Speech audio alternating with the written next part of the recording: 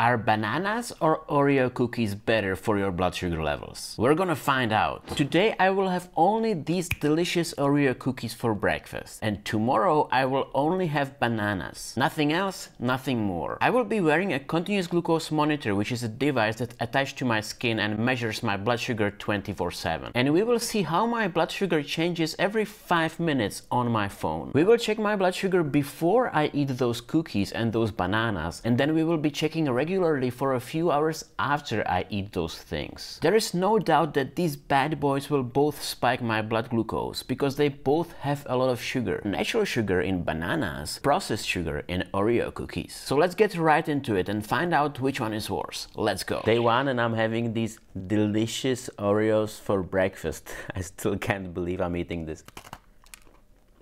My blood sugar before eating this was 6.6 or 119. These cookies are freaking sweet. They are delicious, but I have to eat 8 of them. Let's see if I can even do that. I still can't believe I'm eating this for breakfast.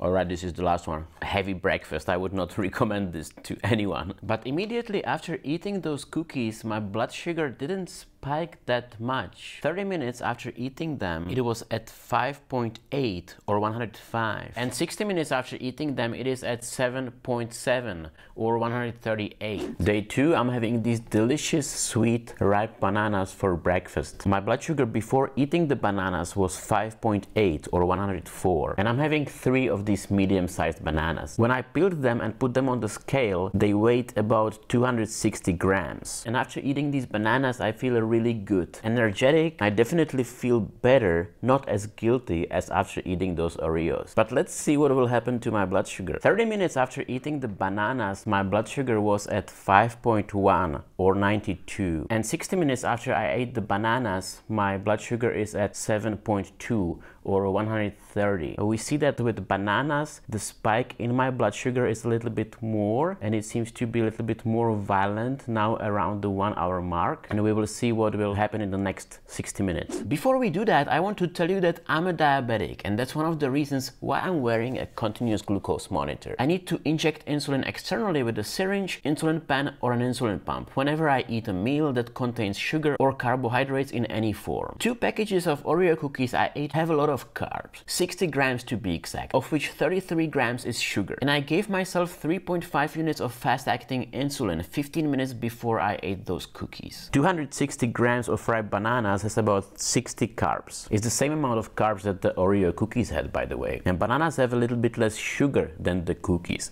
but the difference is not big. So I gave myself 3.5 units of fast-acting insulin 15 minutes before these bananas, just like with the cookies. So you see that with bananas, just like with the Oreo cookies, my blood sugar didn't spike 30 minutes after eating them, but only one hour after eating them. And I think that only shows the importance of timing of dosing the insulin because I gave myself insulin 15 minutes before I started eating. And so that insulin managed to kick in even before the carbs in the food started impacting my blood sugar. 8 Oreo cookies not only have 60 carbs and 33 grams of refined sugar, they also have 20 grams of fat and 5 grams of protein. In total, the 8 Oreo cookies I ate had 416 calories. Oreo cookies are heavily processed and full of refined sugar and refined fat, not healthy or good for anybody. Bananas also have 60 carbs, of which 31 grams is natural sugar. The same amount of carbs and a very similar amount of sugar to Oreos. But that's where all the similarities end. Bananas have zero fat, zero protein,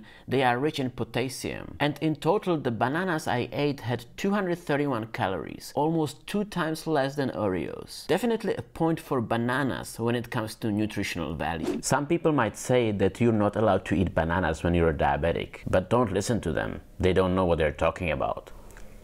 Now let's compare what happened to my blood sugars two hours after I ate each of those things. Because blood sugar obviously is one of the most important factors here in this test. Day one, two hours after I ate those cookies and my blood sugar is at 6.4 or 116 and it's actually trending flat. I almost can't believe that the cookies didn't spike the blood sugar more by now and that the blood sugar is moving almost perfectly after the meal. Of course, I took insulin before the meal, but still I would have expected expected a little bit more of a spike and it almost looks like cookies are a perfect blood sugar friendly food, which I don't think is the case by the way. It's two hours after I ate those bananas and my blood sugar is at only 4.7. This is about 85 milligrams per deciliter. You see my blood sugar keeps going down right now. It's actually crashing and I think it's because I still have some active insulin on board in my body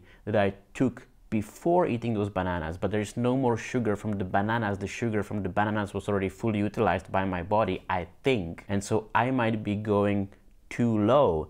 That's why I'm gonna take a couple glucose tablets right now actually to avoid a low blood sugar situation, which might be dangerous for me. And I also think here is a big difference between the cookies and the bananas because the cookies have some fat content, actually quite a lot of fat content. And what that fat in the cookies does uh, causes the sugar to be released a little bit slower and the impact on the blood sugar levels is a little bit more long term after eating cookies and after eating bananas it's a little bit more violently up and then violently down, which is exactly what happened right now. I'm a strong believer that when you have type 1, type 2 or any other form of diabetes and you really want to improve your blood sugars, you really need to pay attention to what you eat. Of course, this is just a one-off test. I would need to do it many times and have many different participants in this experiment for it to be scientifically valid experiment. But keep in mind I didn't do anything different on these two days except for eating a different breakfast. And that's why I think any differences in my blood sugars might be linked to my food choices that I make.